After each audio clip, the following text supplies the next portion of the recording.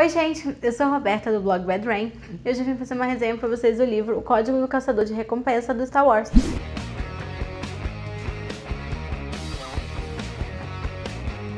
Esse livro é da Bertrand Brasil, faz parte de uma coleção que vem o Manual do Império, O Caminho Jedi, o Livro do Cis e esse, O Código do Caçador de Recompensa. E conforme os outros, ele é super interessante. Ele é escrito por alguém, vários alguém, né?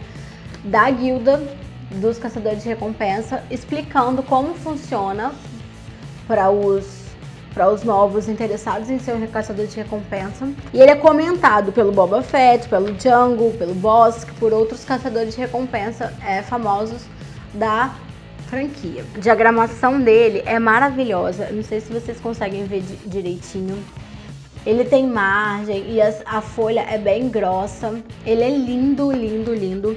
Essas anotações que são feitas pelos outros personagens é feita cada uma com uma, com uma grafia diferente, com uma tinta diferente. Tem umas ilustrações que são muito legais.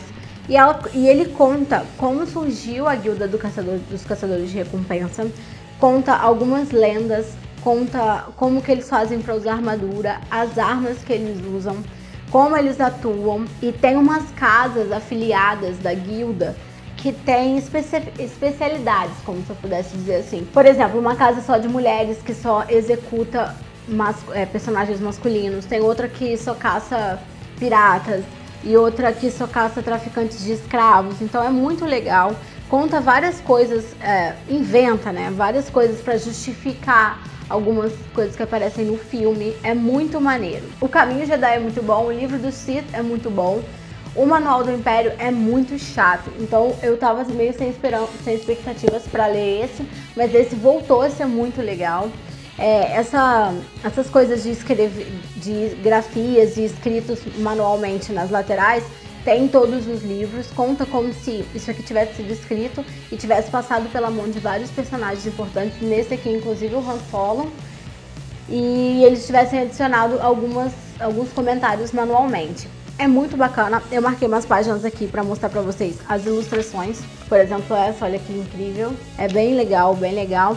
E aqui atrás, por último, né, nós temos um apêndice, ó, essa, essa ilustração também é super bonita. E aqui por último nós temos um apêndice que conta sobre uma classe específica que fez inimizade com o Django, que é os Sentinelas da Morte, que é muito maneiro. É, explica, inventa e elucida várias coisas dentro da própria história do Star Wars. Então eu super recomendo para quem gosta da série. É oficial do Star Wars, né? É, produzido pelo Lucas Books, parece.